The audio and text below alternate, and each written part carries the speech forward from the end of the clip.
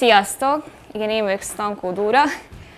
Rettenetesen örülök, hogy ennyien eljöttetek, és ennyien érdeklődtek a téma iránt, hiszen nem másról lesz szó, mint el fogom nektek mesélni, hogy mi az a data platform, mi az a csapat, amit képviselek, az a, az, az adattárház, amit mi üzemeltetünk nap, mint nap, és egyszerűen csak szeretném nektek átadni azt az érzést, hogy miért szeretek én ezen dolgozni nap, mint nap.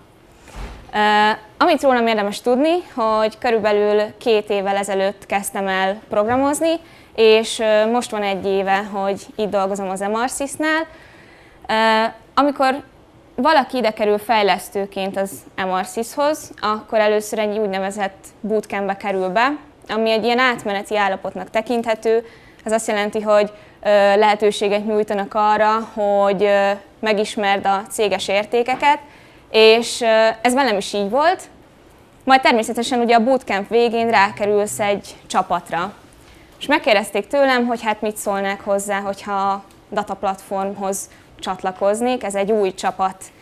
És már amikor idejöttem az MRCIS-hoz, még előtte így szemeztem a datával, hogy hú, az olyan izgalmas, és hogy a sokokos data scientist milyen jó lenne valami hasonló dolgot csinálni, csak kicsit fejlesztősebbet. És amikor mondták, hogy na hát akkor data platform, fogalmam nem volt, hogy milyen technológiával fogok foglalkozni, fogalmam nem volt, hogy mit fogok csinálni, de amiben benne van az, hogy data, az túlságosan rossz nem lehet. És hát erről fogok én nektek mesélni, erről az utamról. Nem tudom, mennyire tudjátok, remélem, hogy az emarszisosok tudják, hogy mivel foglalkozunk. Mi egy olyan business to customer marketing platformot fejlesztünk, amin keresztül az ügyfeleink különböző csatornákon át marketing stratégiákat tudnak indítani. Ez így nagyon magicnek hangzik. Igazából képzeljétek el egy webalkalmazást, amiben az ügyfél belép, és azokból az építőkockákból, amiket mi adunk nekik, gyakorlatilag összelegóznak egy marketing stratégiát, és ezzel célozzák meg a saját ügyfeleiket. Ugye ez rengeteg interakciót jelent, nem tudom, biztos láttátok azt a tévén azt a dashboardot, hogy másodpercenként hány millió interakció történik, ami természetesen rengeteg adatot is generál. Most ez az adatgenerálás a mi esetünkben úgy történik, hogy mi microservice architektúrában dolgozunk, ami azt jelenti, hogy sok helyen van sok-sok szerviz, ami más-más funkcionalitást lát el. És ahhoz, hogy mi egy ilyen gyönyörű dashboardot ki tudjunk rajzolni, bizonyám ezeket az adatokat, ami sok-sok helyen ö, létrejön, azt mi fel szeretnénk használni. De ez nem olyan egyszerű, nem olyan triviális. Ha csak belegondoltok, hogy több száz mikroszervizt elképzeltek, ami több különböző platform, rengeteg nyelvben, akár legyen Go, Python, Java, Node.js, az ott generált adatokat nehéz menedzselni, és végül gyakorlatilag így egy vödörbe önteni. Mi volt tehát a probléma? Mi az, ami ahhoz vezetett, hogy létrejöjjön a data platform? A probléma abban keresendő, hogy rengeteg adat generálódik, de másodpercenként tényleg ilyen több tízezret képzeljetek el, és hát hol tároljuk őket? Helyi hardveren? Ház alatt? Elfér az? Kell nekem az az adat? Hogy néz ki? Úristen, ez a mező, ez mit jelent? Ez ugyanazt jelenti, mint ez ennél a másiknál? És, és miért kellett kitörölni az adatot? Mi az, hogy nincs egy évre visszamenőleg adatunk? Rengeteg olyan problémába ütköztünk, ami egyszerűen meggátolta azt, hogy új funkcionalitásokat tudjunk ö, létrehozni gyakorlatilag. És hát mi volt erre a válasz? Megfogalmazódott egy vízió, hogy megalakuljon egy olyan platform, egy olyan ö, koncentrált, illetve centrikus ö, felület, ahol mindezen adatokat egyszerre összegyűjthetjük. És ez, az, ez, és ez a megoldás, ami a legfontosabb, skálázható. Képzeljétek el a data platformot úgy, hiszen ez egy adattárház, egy felhőszolgáltatásokon alapuló adattárház, mint egy gyönyörűen rendezett raktár. Ami azt jelenti, hogy megérkeznek ugye a csomagok, az áruk, ilyen ö, jól meghatározott barna dobozokban, Ezeket a csomagokat egymásra tudjuk pakolni, halmozni is tudjuk, pontosan tudom, hogy mi minek hol van a helye, ugye minden agyon van címkézve, általában ezek a raktárok így a külvárosban találhatók, tehát bármikor bővíthetem, fontos megemlíteni a 024-es biztonsági szolgálatot, ugye valaki mindig vigyáz rá arra, ami ott van. Tegyük fel, hogy vannak ilyen, ilyen egymázsás dobozaim, azokat nem kell nekem egy emberként fölemelnem, hanem vannak erre eszközeim, vannak targoncáim, amik segítenek nekem, és menedzselik ezeket a dobozokat. És hát természetesen ez hosszú távon sokkal inkább kifizetődő, mint ha mondjuk elképzelünk úgy, mindenki vizionál maga elé egy szeméttelepet, mondjuk, így mindenki érezze a szagát mondjuk, és azt mondom, hogy az a feladat, hogy, hogy keresetek meg nekem egy kólás dobozt. Mit gondoltak vajon, melyikbe menne hamarabb? Ebben a rendszerben, vagy a szeméttelepen? Ott a pont. Tehát akkor megszületett a dataplatform megalakulásának a, az ötlete, de hát már annyit beszéltem az adatról, mi is az az adat, szeretném nektek elmesélni, hogy az MRSIS rendszerében milyen adat jön létre, és az, a már említett microservice architektúrából adódóan hogyan fog egy központosított helyre eljutni. Létrejön tehát az adat, átmegy az úgynevezett Publisher Service-en, erről majd később fogok nektek mesélni, hogy ez miért egy nagyon fontos lépés. Eljut a dataplatformba, és végül pedig konzumálja, felhasználja valamilyen másik fél. Szóval akkor induljunk is neki. Mi az adat? Rengetegszer mondtam már, de még párszor lehet, hogy fogom mondani, hogy tényleg sok adatról van szó. A, market, a marketing tevékenységünkből adódóan úgy képzeljétek el ezt az adatot, mint például amikor kaptok egy e-mailt. Az, hogy mi kiküldtünk nektek egy e-mailt, az egy eseményt generál, mi így hívjuk, az egy szent eseményt generál. Az, hogy te azt az e-mailt kinyitottad, az egy open esemény. De lehet, hogy te ebben a levélben ráklikkeltél egy link, link vagy egy, rá, hú, ráklikkeltél egy linkre, ami esetleg elvezetett téged egy webshopra, ahol meg beletettél valamilyen terméket a kosárba, lehet, hogy ezt meg is vásároltad, de lehet, hogy csak böngésztél az oldalon és jobbra-balra mozogtál. Ezek ugye mind információértékkel bírnak a mi szemszögünkből. De hát azért a fejlesztő szemszögéből is közelítsük meg ezt a témát. Hogy néz ki az adat? Hogy kell azt elképzelni? Mi az, amit fontos tudni róla? Fontos tudni azt, igazából egy nagyon egyszerű JSON adatstruktúrát képzeljétek el, hogy, hogy mi az az esemény, hogy mikor történt ez az esemény, például másodpercre pontosan lehet ezt detektálni, hogy honnan származik az az esemény, ez is nagyon fontos, és esetleg egyéb az esemény specifikus dolgokat is hozzá lehet csapni ehhez, a, ehhez az adathoz. Amit nagyon fontos látnotok, és amit a data platform is napról napra szem előtt tart, hogy az az adat, ami oda kerül, annak ott a helye. El kell döntenünk azt, hogy annak az, alud, az, annak az adatnak valóban a data platform a végleges helye. Ezt azért hangsúlyozom, mert előfordulhat az, hogy felmerülhet valakiben a gondolat, hogy akkor tároljunk valamit a data platformon. De mint már említettem, ez egy rendszerezett adattárház, nem pedig egyfajta ö, olvasztó tégely, hogyha úgy szeretnénk hívni.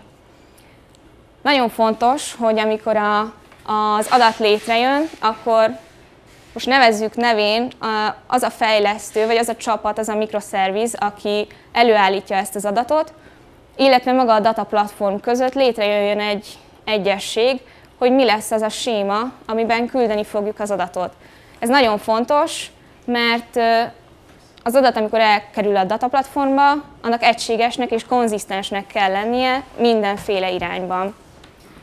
Illetve nagyon fontos megjegyezni még azt is, hogy nyitott, nyitottnak kell lennünk arra, hogy ez az adatstruktúra bármikor kiegészíthető legyen. Tehát, hogyha valaki azt mondja, hogy én egy plusz értéket szeretnék küldeni ezzel a streammel mondjuk, akkor ezt nekünk meg kell csinálni. Tehát akkor létrejött az adatunk, irány a Publisher Service. Elküldjük ezt az adatot a Publisher Service-be. Na de mi ez? Ezt úgy képzeljétek el, mint egy interfészt, egy proxit, egy kaput gyakorlatilag a data platform előtt, vagy inkább úgy, mint egy biztonsági ört, hogy rajta keresztül nincs átjárás. Hogyha ő azt mondja, hogy nem mehetsz be, akkor nem mehetsz be. A Publisher Service végez valamilyen szintű autentikációt a bejövő adaton, ami azt jelenti, hogy neked olyan jogosítványjal kell rendelkez, hogy bizonyítsd, hogy te a mi rendszerünkből érkeztél, nem pedig valahonnan kívülről. Illetve valamilyen szinten validál is a Publisher Service, tehát már az előzőleg ö, meghatározott kontrakt szerint megnézi, hogy te megfelelsz-e a, a követelményeknek. Ha például be akarsz menni egy buliba, és nem felelsz meg a dresscode-nak, akkor nem mehetsz be.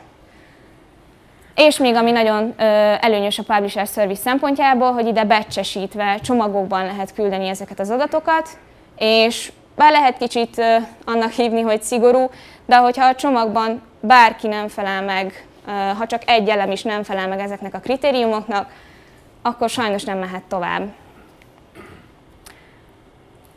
Megvan hát a Publisher Service-be, eljutott az adat, hosszú út volt, de még mindig nincs vége, hiszen itt vagyunk a data platformnak a kapujában. Na de mi hajtja ezt a data platformot? Mi az a felhő, amit, amiről már annyit beszéltem? Kinek ismerős ez a szimbólum? Ha, ott volt az első, láttam, á, erre nem néztem, ne haragudjatok.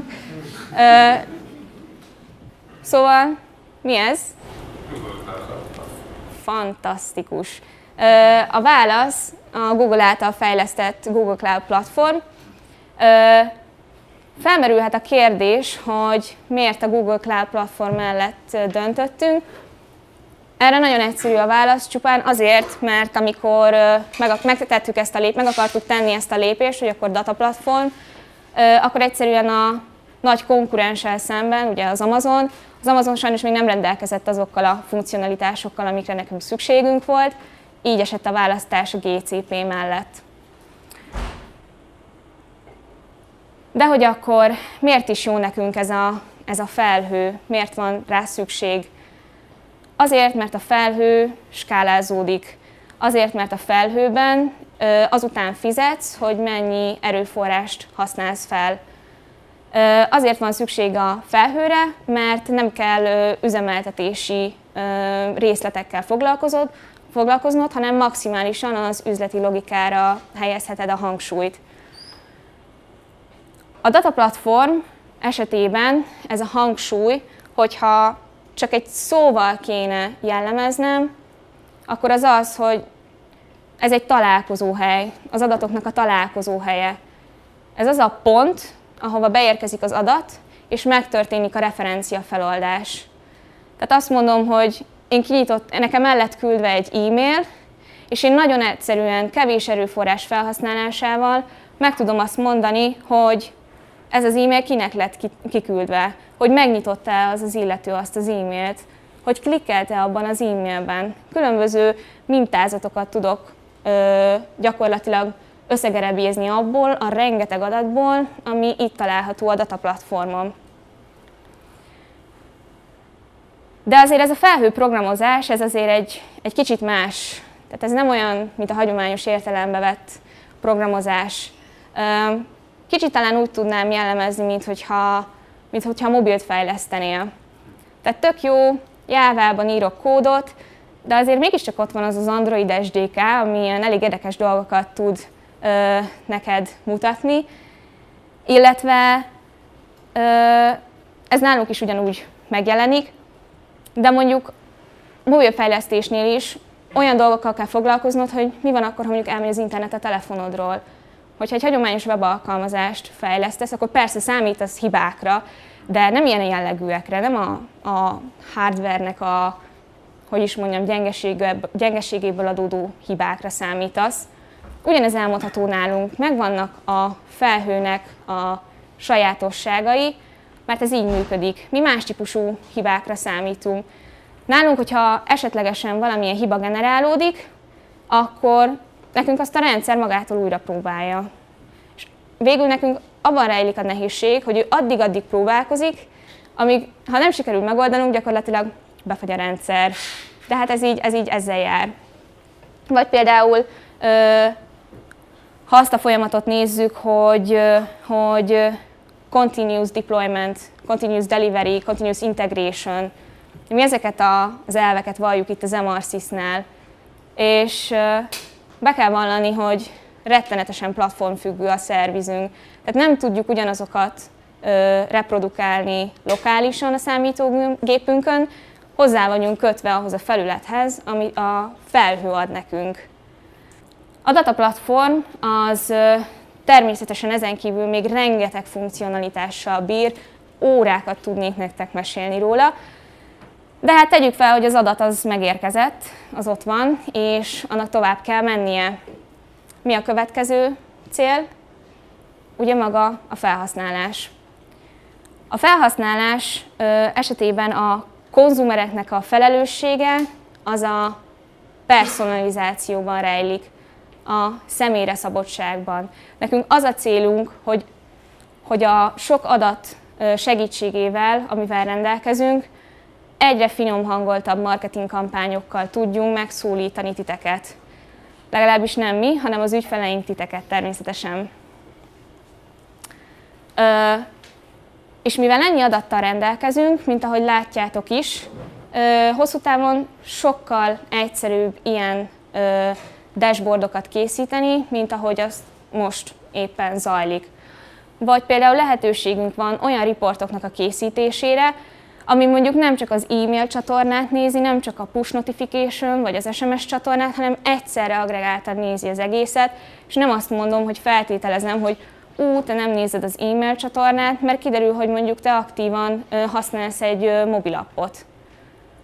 Vagy például arra is képesek vagyunk, hogy a begyűjt, begyűjtött nyers adatunkat kiexpózoljuk az ügyfeleiknek, ugye azoknak az ügyfeleknek, akiknek az ügyfelei termelték az adatot, és ezáltal ők is felhasználhassák azt.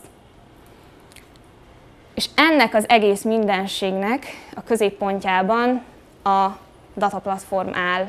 Az, amiről én itt meséltem nektek. Hogy miért olyan fontos az MRCIS-on belül a dataplatformnak a jelentősége. Egyrészt azért, mert centralizáltan központosítva helyezkedik el ugyebár minden adat most már, visszamenőleg tényleg ilyen másfél évre visszamenőleg rendelkezünk adatokkal, és ez rengeteg új kaput nyit meg előttünk. Hát csak gondoljunk bele, mi az, ami, ami egyszerűen a csapból is folyik, az AI. Én úgy gondolom, hogy AI, jó AI, csak tök jó, meg fancy, meg jól hangzik, de mit ér az AI, hogyha az adat nem jó és használhatatlan, és nincs belőle? Akkor gyakorlatilag én is tudnék AI-t írni, pedig nem tudok.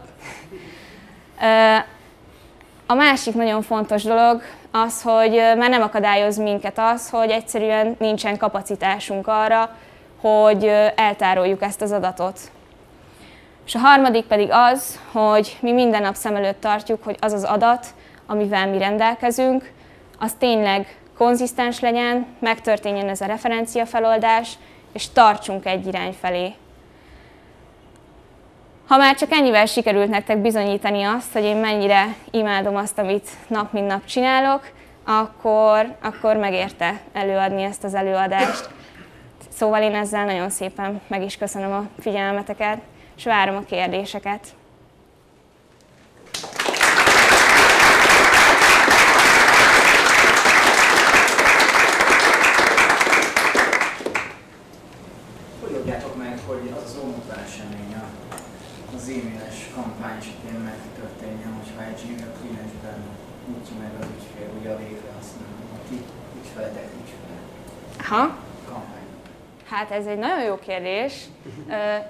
implementációs részletekben nem tudok belemenni, mivel én ugye a, a data platformot képviselem, nem pedig a Csak provider. Csak ezt a megnyitó. Igen, igen, igen. Hát ha, ha tényleg a megnyitásra gondolsz, tehát arra gondolsz, hogy az detektálni, hogy... a levelet megnyitottam. Hát én egyszer utána néztem, nem tudom, nálunk hogy zajlik, de azt tudom, hogy egy ilyen Google-be beírod, hogy hogyan kell letrekelni egy e-mail open kinyitást, és akkor... Ez Gmailben Ja? Na hát ennyire nem vagyok pro. Szóval... Ez, ez ugyanúgy működik egyébként Gmail-be is, csak egy, egy képet beraksz bárhova, és egy, annak a letöltésére. Igen, csak az a baj, hogy ugye a Gmail letiltja a képeknek a betöltődését, ugye tehát uh, JavaScript security problémák vannak, merülnek föl, tehát azt a usernek engedélyeznie kell. Nem, alapból most már engedi, és a usernek küldeni kell a. Ez az Ez egyik. megváltozott pár éve. A, a másik az, hogy implicit ráhatásra is tudod ezt érezni, ha például klikkelt valaki egy levélben, akkor ez Hát egyértelmű, hogy klikkelt, nyilván, open, akkor persze. open is jelent.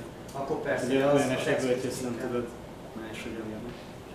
Máshogy nem. De amit spamba rak például, azt nem tudja. Tehát, hogyha a kampány nevelet mondjuk ő spamként érzékeli, De azt meg máshol le tudod mérni, mert a, az meg, tehát hogy azt meg a provider küldözik, hogy spambe került. Tehát az, az, arra meg vannak egyéb módszereik. Hogy tehát az biztos, hogy letiltja, tehát azokat a képeket, amik egy bizonyos csatornába érkeznek. Igen, de az, az már delivery Mi lenne, hogy, hogyha ezt majd az előadás után esetleg...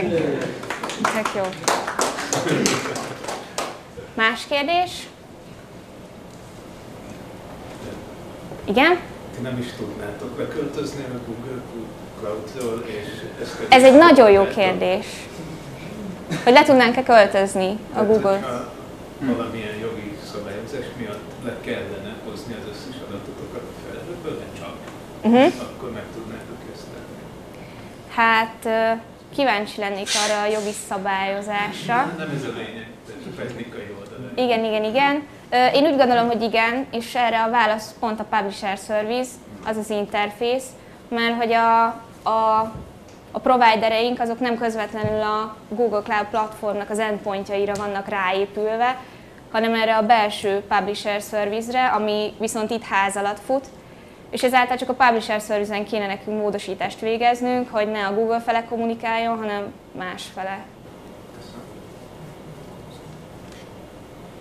Igen? Mi volt a legnagyobb baj, ami előfordult ezen a, ebben a felhőben? Hát a legnagyobb problémát az általában az jelenti, hogy, hogy pont mivel ugye a felhő maga elrejti ezt a komplexitást, meg az üzemeltetést, ezért, hogy, hogyha valami baj van, nagyon nehéz eldöntenünk, hogy az, azt mi okoztuk, vagy pedig a háttérben valami más miatt. Tehát, hogy mondjuk tegyük fel, hogy kicseréltek egy VM-et, ami egyik futó alkalmazásunk alatt. És ezeket nagyon nehéz így detektálnunk de, de körülbelül úgy, úgy ez. Meg, meg talán az, amikor még a legelején nem ismertünk minden nüansznyi apró betűs részt, amit valószínűleg most se ismerünk, de ami mondjuk egy kicsit nagyobb betűvel volt akkoriban írva, és ezt elfelejtettük, vagy így nem vettük észre, tehát hogy mennyire fontos a monitoring, meg, a, meg az, hogy tényleg figyeljük így a, a történéseket, akkor azért voltak érdekes dolgok. Tehát például nagyon egyszerű, jött egy adat folyam, és, és hát mondjuk mi elfelejtettük azt konzumálni, és kiderült, hogy hét nap után onnan törlődnek a dolgok, és így tíz nap után jöttünk rá. Ups. De mondjuk sokkal okosabbak vagyunk, én úgy gondolom így időben, mert például erre felkészültünk már, és csináltunk egy ilyen backup mechanizmust, hogy még mielőtt bármit csinálnánk az adattal, azt eltesszük. És akkor, hogyha esetleg valami baj van, akkor onnan vissza tudjuk nyerni.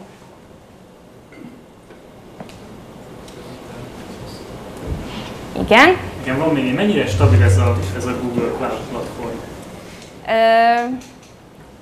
Nem tudom, hogy más mennyire nem stabil, de én, én úgy gondolom, hogy, hogy abból a szempontból, amit elvárunk tőle, úgy, úgy annyira stabil. Köszi. Igen? Ez eltesszük érdekelne, hogy nem ismerem ezt a Google Cloud platformot, de magának az adatnak a tárolását azt is végzi ez, és Under the Hood platformot a service-hez kapjátok, vagy használtok ilyen Mongo, meg Lake, meg ilyen dolgok. Nem mi ebben, ebben tárolunk mindent. Tehát maga az adat, amin bejön, az a végpont, az is, az is Google, amin keresztül folyatjuk és áttranszformáljuk, az is Google, és ahova eltesszük az az adatbázist, az is Google. Igen? amikor van valamilyen probléma, és kiderül, hogy nem a ti oldalakon, Uh-huh. akkor segítőkészek a Google-os válaszolnak, private message-ben beszélgetsz velük. Hát ez nagyon érdekes, ennek több, több ö, ö, megnyilvánulási formája is lehet. Például van egy Slack csatornájuk, egy ilyen Google Cloud platformos Slack csatorna, ahol legalább a közösség úgy össze van gyűjtve, és akkor volt olyan, hogyha valami olyan problémát észleltünk, amiről azt mondtuk, hogy szerintünk ez nem a mi hibánk, akkor beírtuk, és igazából csak azt írtuk, hogy oh, something went wrong, vajon mi lehet, vajon valaki más tapasztalta ilyesmit, és akkor például volt olyan, hogy valaki írta, hogy igen. És akkor ez olyan megnyugvás, hogy akkor, akkor nem nálunk van a baj. De természetesen ö, ö, közvetlenül a, a mérnökökkel is ilyen support ticketek formájában szoktunk kommunikálni, hogyha esetleg valami olyat látunk, ami, amit nem értünk. Ha most hirtelen váltani kellene, portolni Amazonra, akkor az mennyi időre függés Biztos, hogy nem egyről a kettőre csinálnánk, tehát hogy, nem, tehát hogy még futna a meglévő rendszer is átállnánk, mert most is ugyanígy van, hogy még a házon belüli adattárház fut, de már állnak át bizonyos szervizek miránk. Biztos, hogy nagy kiadással járna, de szerintem ott is úgy történne, hogy lenne bizonyos mértékű lefedettség, hogy akkor az egy, mindkettő fut egyszerre. Az, hogy leimplementálni mindazt, ami most megvan, biztos, hogy okosabbak lennénk már szerintem, de de szerintem, hogyha el sikerült megcsinálnunk három ö, ciklus alatt, az 9 hónap, akkor és fél év alatt biztos meg lenne. Szerintem még lehet rövidebb is. Fú, micsoda megszólalás. De úgy lehet tényleg. Most éppen egy, kettő, három, négy, négyen vagyunk. Úristen, ha most valakit kifejtek, az nagyon gáz. Öten, öten vagyunk. 54 ember tudnak lényegében. Komolyan? Három ciklus, ugye azt mondod 9 hónap. Hát én most nem fogom kiszámolni, mert nagyon ideges vagyok, de, de valószínűleg előfordulhat. Ott egy kérdés. Vannak ilyen felső korlátok, hogy nem tudom, egy fizetéshez mennyi adatot tárolhat? Na ne, tele vagyunk kvótákkal. Aha. Pont nem a, az adatmennyiséggel kapcsolatban, amit tudunk tárolni, de mondjuk vannak olyan kvóták, hogy, hogy mi ugye mi streameljük az adatot, tehát real time rakjuk be az adatbázisba, és mondjuk azon partícióknak a száma, mert hogy partícionálva tároljuk az adatunkat, ilyen napi partícióba, mondjuk az, csináltunk már olyat, hogy mi egyszerre mondjuk 5000 partícióba akartunk streamelni, és így a Google mondta, hogy hát ilyet ne csináljunk. És akkor mondjuk nagyon segítőkészek voltak, mert felemelték a kvótát csak nekünk, tehát így kizárólag bekapcsolták azt a kis gombot, és akkor, és akkor működött ez a dolog. De természetesen mindig kell azon matekoznunk, hogy akkor ezt most izé, csak másoljuk át táblából táblába, vagy streameljünk, vagy hogy csináljuk, tehát ez, ez, ez napi szinten így Értem, Megvan. De, de akkor ezek szerint meg volt egy külön megállapodás így a Google-lel, ami nem a, a nem a bevett, Így egy biztos, hogy volt, igen. Értem. Igen. Igen. Még kérdés? Ott kettő is, igen. A régi adattárházat, meg a Google-ös, és látjátok a különbséget, hogy ez a Google-ös olcsóbb, vagy jobb lehetőségeket biztosít, vagy egyszerre mind a kettőt. Uh-huh. Ö, látjuk természetesen a különbségeket, főleg abban, hogy a régi az nem működik, nem működik és hogy mennyire, ö, mármint, hogy nem olyan költséghatékony, de hogy ö, arra gondolok itt, hogy, ö, hogy a legnagyobb problémát az a skálázódás. Igen, holnap már ne jöjjek vissza. Hogy a, hogy a legnagyobb problémát az a skálázódás jelentette, és hogy ez itt nálunk megvan. Illetve szerintem ez abban is látszódik, hogy, hogy sokkal gyorsabb idő alatt tudunk olyan funkcionalitásokat megvalósítani, ami mondjuk régebben nem ment. Tehát szerintem szignifikánsan látható az, hogy, hogy, hogy jobban megéri dolgozni, mint ebben a rendszerben. Még ott egy kérdés? És szerintem mondtad, hogy azért, esett a Google-re a választás, mert hogy akkor még az Amazonnak nem volt olyan Amazonos vagy. Nem tudtam. Nem. és igazából azóta nyilván ez, ez azt implikálja azóta, ez így egy szintre került, hogy ilyesmi, és megszokásban maradt a Google, vagy pedig van olyan, hogy három hónapta leültek, és azért nézzük meg, hogy van egy szerződés, hogy igen, nekünk a Google el kell valami 2020-ig, mert csak, vagy, vagy csak, hogy versenyeztetve van egyáltalán a két platform, mennyire Mhm. reális a váltás. Hát szoktunk néha utána olvasgatni, hogy pont amúgy most szombaton az egyik munkatársam, csapattársam nézegette, hogy hm, vajon jobb-e, és bizonyos metrikákban lehet, hogy jobb, de hogy aztán a végén mindig van egy olyan, hogy hm, hát mégse, hogy ez jobb, meg hogy hú, ilyet nem lehet ott csinálni, meg, meg ilyet se. Nem tudom azt mondani, hogy az egyik jobb, meg a másik rosszabb, illetve az se, hogy, hogy azért vagyunk a Google-nél, mert hogy, mert hogy a Google, hanem egyszerűen ugye ebben kezdtünk el dolgozni, így van egy mértékű ilyen bizalmunk az irányukba, és akkor, és akkor ezzel megyünk előre.